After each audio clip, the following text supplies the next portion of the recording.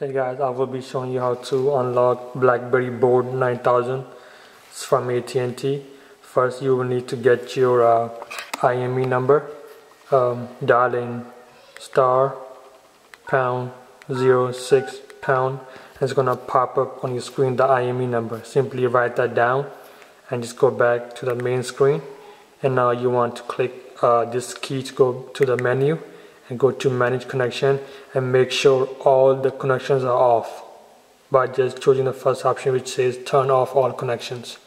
Once you get that done it probably take two seconds three seconds and go back to the main screen and now go to uh, settings and go to option and choose the first um, which says the advanced option choose that and go down to one it says uh, SIM card press that and you will see right here it says no SIM card because I did not put in any SIM card. This is a brand new phone. And right here you need to type in M E P D. And now you see I, I get a brand new uh, a new menu.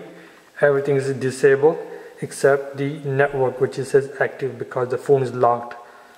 So now you have to type in press that ALT key first. Type in M E P and type in 2 now it says enter your network ME code. This is that this is very important. It says 10 left you cannot mess it up. So make sure you enter exactly how you got it in your email. I have the code so I will put it in right in front of you. So it's uh, 362